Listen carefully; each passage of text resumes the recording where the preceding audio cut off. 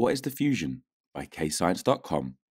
The purple molecules represent one gas, and the black molecules represent another gas in the atmosphere. So, the process of diffusion is simply just the gradual movement of particles from places where there are lots of them to places where there are fewer of them. So, we can say that diffusion is the movement of particles from an area of high concentration, high concentration, to an area of low concentration to an area of low concentration. So diffusion is the movement of particles from an area of high concentration to an area of low concentration. Let's now look at the diffusion of dissolved substances across a partially permeable membrane. So the purple particles represent oxygen that needs to diffuse across the partially permeable membrane. So on the right hand side of the partially permeable membrane, there are three particles that are black. This could be carbon dioxide, hormones, urea.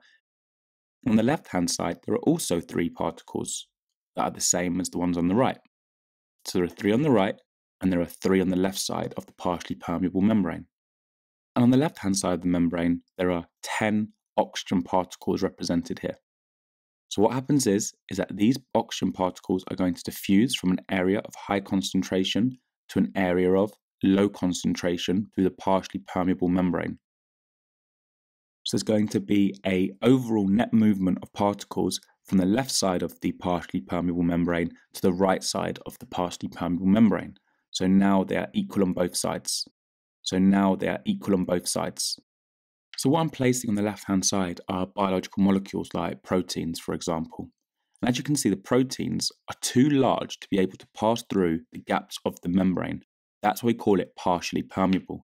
And this molecule here can also not pass through the partially permeable membrane. So only the oxygen and smaller molecules can pass through. So remember, diffusion is the movement of particles from an area of high concentration to an area of low concentration.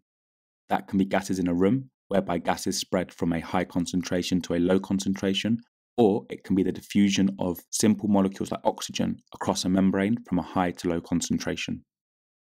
It's question time. Attempt these questions to check your understanding.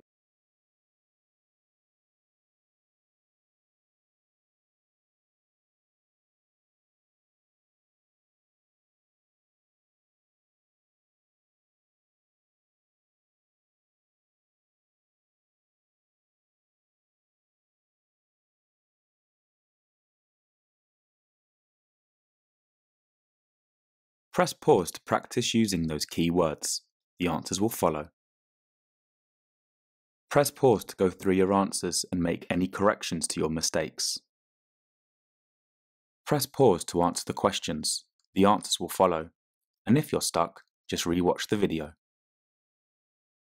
Press pause to go through your answers and make any corrections to your mistakes.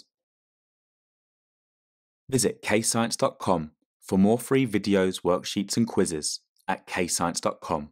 And don't forget to like and subscribe.